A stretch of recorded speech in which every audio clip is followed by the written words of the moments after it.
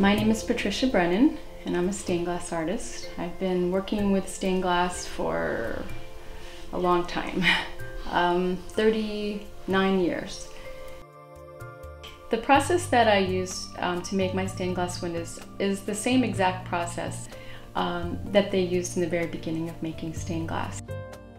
Um, I've lived in Rappahannock for 36 years and um, I'm also a mom of five beautiful children and I have four grandchildren and they're my best creative endeavor.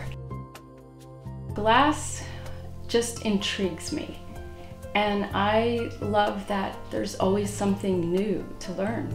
Um, I work with regular stained glass, I silk screen on glass, I etch on glass, I fuse glass, um, I slump glass, and I even make glass beads. so there's just so many techniques and so many different ways to incorporate it into my work, and I just find that really exciting.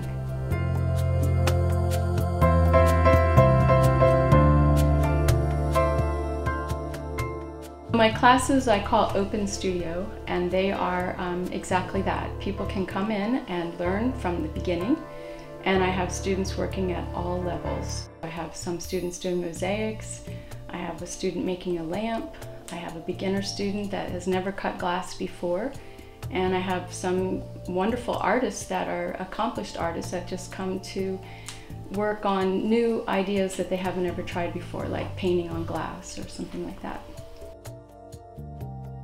My garden is a huge inspiration for me. I spend a lot of time, if I'm not doing stained glass, then I'm gardening. A lot of times people uh, say to me, oh, you're so lucky. You, you work for yourself for a living. You know, it must be incredible to be self-employed.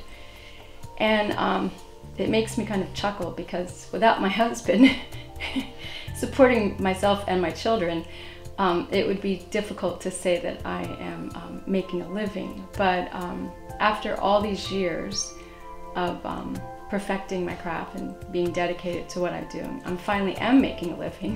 But to get here, um, to become an artist that is able to make a living, it takes a good support group. the name of my business is DeDanann Glassworks. Um, for a long time, I used to travel around the country going to Irish and Scottish festivals, and I um, created mostly uh, Celtic symbolism in glass. And so DeDanann um, is from a myth of Ireland of the Tuatha De Danann, and translated it means Lord of the Light. And so DeDanann is just the light. In the past 10 years, I've been working with um, the Macedonia Baptist Church in Flint Hill, Virginia. And um, the windows at the Macedonia Church are some of my best work. I just love going in there and getting to see all that work, and I can't believe I made all that work. But I have 14 windows in there that are hand painted, and some are very large. And um, it took me about six years, but I think I'm finally done with them.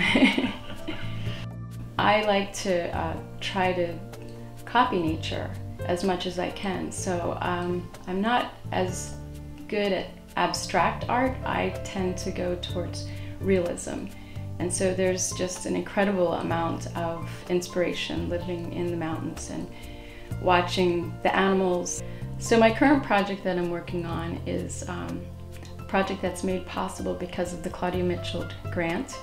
And I'm working on a body of work that's all about Rappahannock County and things that inspire me in Rappahannock that I see in glass. And right now I'm working on a series of windows that are um, all of uh, flowers um, that are indigenous flowers that I grow in my own garden and I've taken pictures of them and they're the focus point of my, uh, my windows. So I have a, a, set of four that I'm working on right now.